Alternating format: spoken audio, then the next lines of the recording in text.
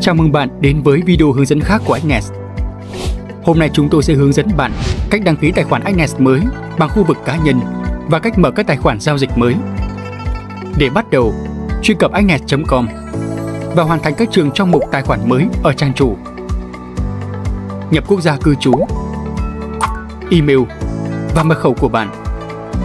Mật khẩu của bạn phải chứa từ 8 đến 15 ký tự, bao gồm cả số, chữ cái tiếng Anh viết thường và viết hoa.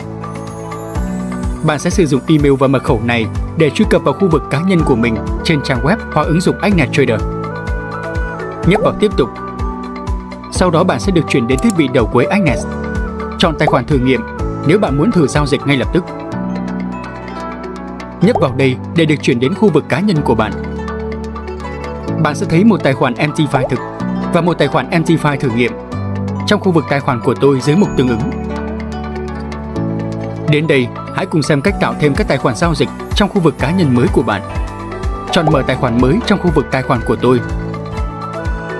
Trong số các lựa chọn tài khoản tiêu chuẩn và chuyên nghiệp của chúng tôi, hãy chọn một loại tài khoản. Sau đó nhấp vào mở tài khoản thực dành cho tài khoản thực hoặc thử tài khoản thử nghiệm dành cho tài khoản thử nghiệm. Trên trang tiếp theo, bạn có thể đặt lại loại tài khoản của mình thành thực hoặc thử nghiệm và chọn thiết bị giao dịch đầu cuối ưa thích của bạn, MT4 hoặc MT5. Đến đây, hãy chọn cài đặt đòn bẩy tối đa bạn mong muốn và đồng tiền của tài khoản. Lưu ý rằng sau này bạn không thể thay đổi đồng tiền của tài khoản.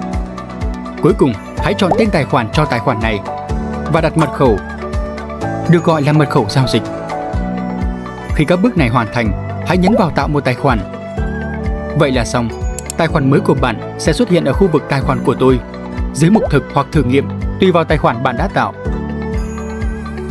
Cảm ơn bạn đã chọn Agnes. Mở tài khoản ngay hôm nay để nhận tiền GP lên đến 90% phí giao dịch.